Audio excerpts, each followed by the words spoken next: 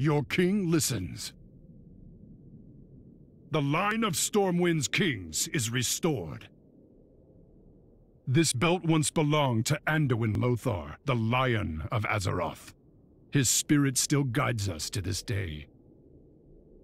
The Nexus has gathered powerful heroes from many worlds. But for what purpose? What if this is just the calm before the storm? You know, I still watch 3v3 arena fights from time to time. Warrior, Rogue, and Druid teams are my favorite, but I'll admit, I'm a little biased.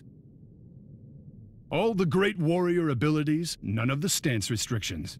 Anvilmar would be jealous. Fury arms and protection.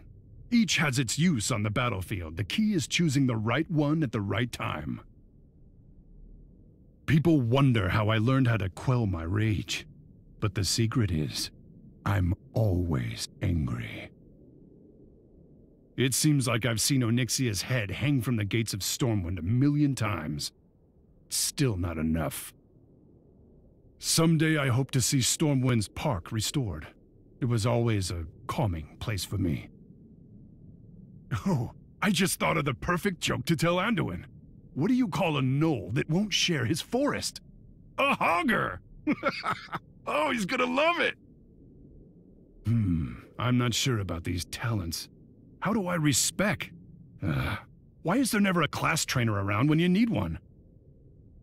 Is anyone else hungry? Like a wolf? No? Well, what about Greymane? He has to be. Anduin got me to play Hearthstone once. It was a bit fantastic for my tastes. What kind of game allows Garrosh to order me around? It's absurd. Never take advice from someone named Prestor. Ever.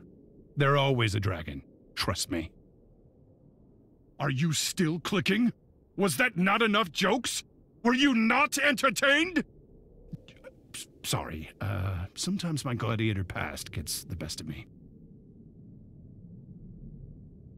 Your king listens.